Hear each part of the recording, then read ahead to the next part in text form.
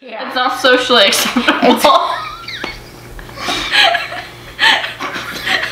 We're going to hell in a handbasket or a Mercedes, whichever's oh. first. I'd be going to the Mercedes with a oh. clown mask. Oh. hey Satan, what's up? I'm finally here. What I'm reading now. Hey everyone, my name is Kiera Welton, and this is my mom, Kristin Welton, and welcome back to my channel. Welcome to the first episode of What I'm Reading Now. Dun dun dun!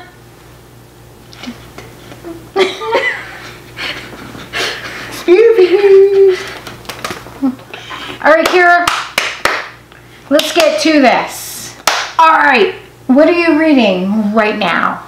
alright, so I actually happen to really like this book. I'm not finished it yet. It's uh, it's a Stephen King book. I've only this is my second book that I've read from Stephen King. I'm reading Mr. Mercedes. It's honestly an amazing book. It's written very very well. I from what I've read from Stephen King so far, I, I love his writing style.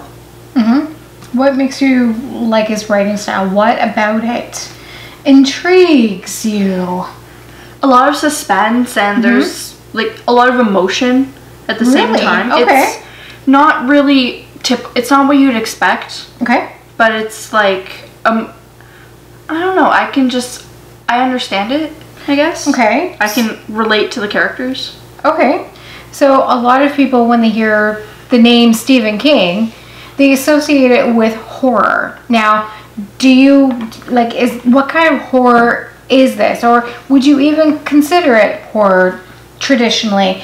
Is it uh, you know mentally, or is it uh, physically? Like, is there a lot of gore and blood and disgusting things, or is it a mishmash of both so far, or what? It's more at the beginning it was kind of it's more mental though. Okay. It's more um it plays with your mind. Mm, hmm Which can be pretty suspenseful and scary. Yeah, like the first book I read, Cell, it was more horror, what Okay. you typically expect. There was a lot of um a lot of violence, but it's not vi- it's not typical. It's more dystopian as well. Have you read this book? I have not read that book. Okay. There's very few books of Stephen King that I have not read, and that's actually one of them. It's actually about someone. It's a police. He's a police officer, retired, and there's this case that they haven't been able to solve in years. Okay. And this, uh, the perpetrator, they call himself Mr. Mercedes, because he ended up driving through a crowd of people in a stolen Mercedes Oh, and okay. murdered a bunch of people.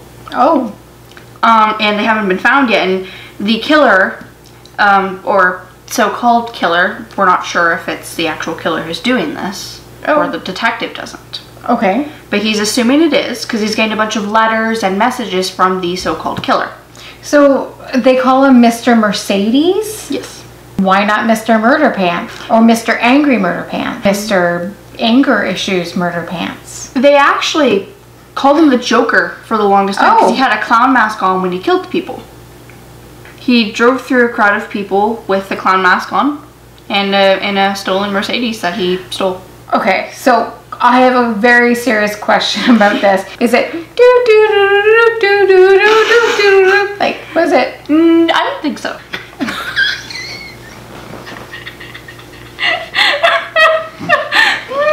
We're not laughing, you're laughing.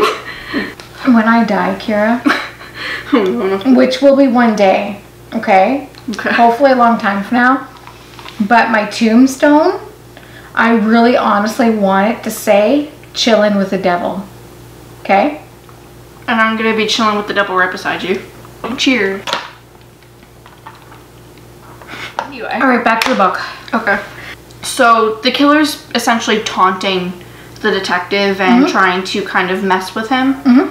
But at the same time, he's getting the killer's getting frustrated because he's like, "How does he know he's on to me?" Mm.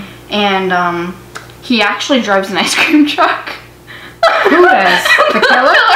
drives around with an ice cream truck, and he's like very psychotic, and um, he's planning on poisoning a bunch of people, especially children. And yeah, Makes me think differently about ice cream trucks, that's for sure. Makes me not trust them. I've been reading Stephen King since I was probably your age or younger. So I I loved loved loved Stephen King. I'm glad that you're reading it. However, you start. How did you start reading Stephen King? So I actually always wanted to read Stephen King. I, I mm-hmm. saw it the movie first. I saw it with a friend. Remember? No. You remember me going to see my friend and we watched it? You were the one who we said we would go watch it and you said it was okay. Oh, was this Curtis? Yeah. Oh, okay. All right. Okay. Um Okay. and uh yeah. So I saw the movie. It's it's not scary. It's just it, it's honestly more funny than scary. it's just thinking of a clown. It's like I didn't expect that, but it's like it was it, I don't know. I don't like clowns. I just thought the scenario was funny. Anyway. Nobody likes clowns. Uh, my English teacher, love her. Um, we She's a great teacher. she is, yeah. Um, we all had to pick books to read. We had to like calculate how long we were reading it. We had to read for 15 minutes and just put how many pages we read. Mhm. And um, we had to choose books. And I asked her, I'm like, "Do you have any Stephen King?" And uh, she actually did. And uh, Oh. she was like, "Just go down to the library. There's probably more if you want to look." And that's how I found Cell. And um, so once I finished that book, I must have finished that book in two weeks because I was reading that nonstop. And um, then we, I got to choose another book, and she actually just brought in more Stephen King books. And I found this one, so I asked her, "Can I read this?" And yeah, she uh, got it out for me, and here we are. Good.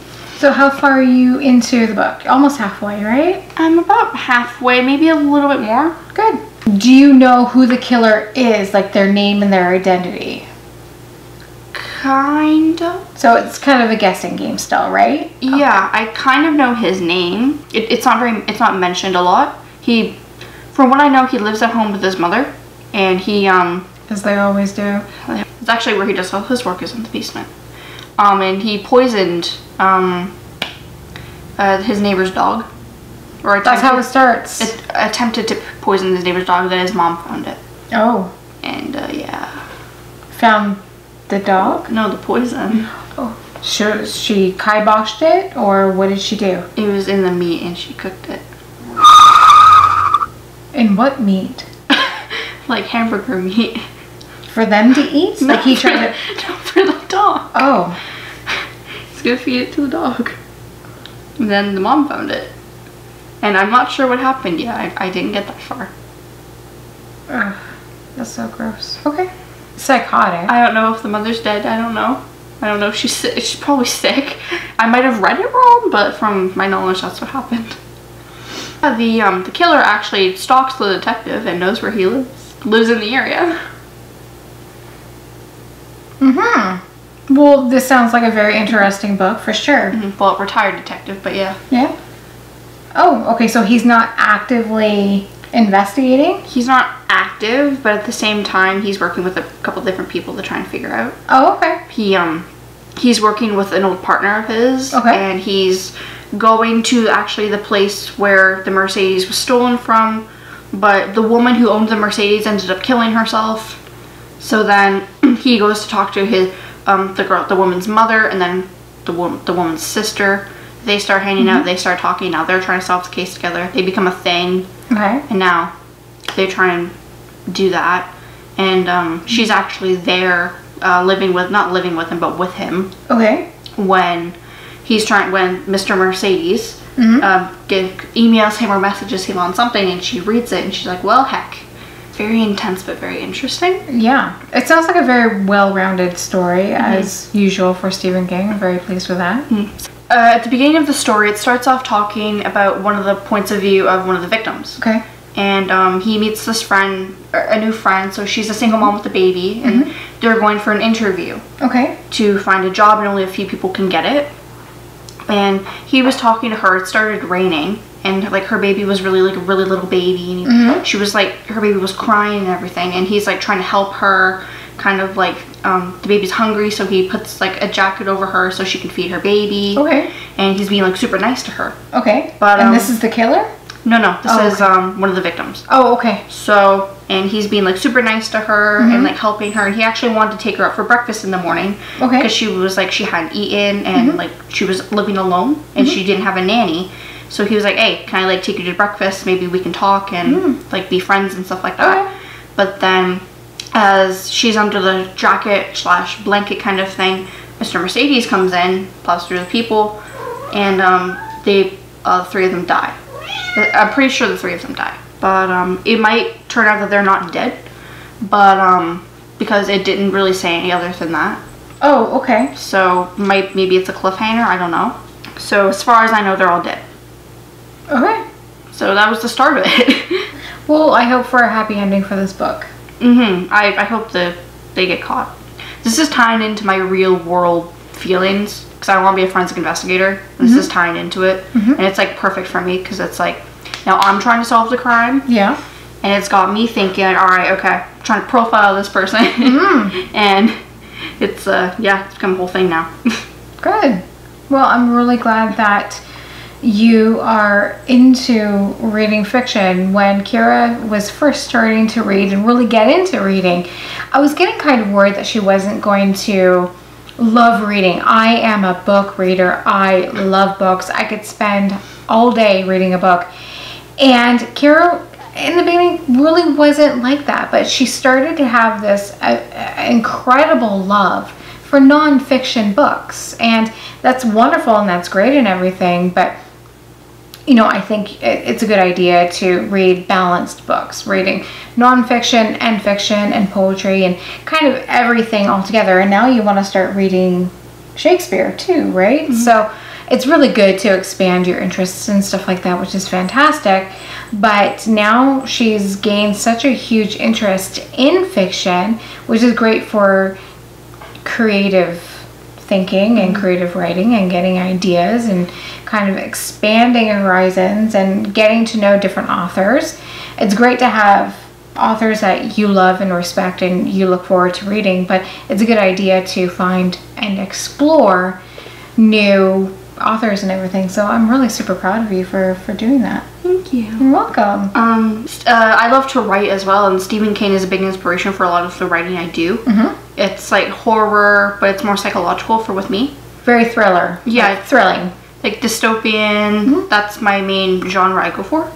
Uh, dystopian horror, but um, a lot of suspense. Mhm. And um, I don't know, I, I just I love his writing style and the way he is just able to put things together and they work. And like it's just like yes. Very good. Well, I'm excited for you to finish reading this. Up close and personal there. And I can't. What, the umbrella? Oh, yeah. Yeah. The umbrella with blood on it. That's nice. So. Oh, and there's kind of blood. Oh, bloody Tire tire tracks. tracks. Yes. Alrighty. So I'm excited for you to finish this book and give a full review on it, and as well as starting your next book. Alright, everyone, that's all we have for you today. Thank you so much for tuning in to learn about what we are reading right now. He agrees. Mm-hmm. Let's spill the tea. David's tea.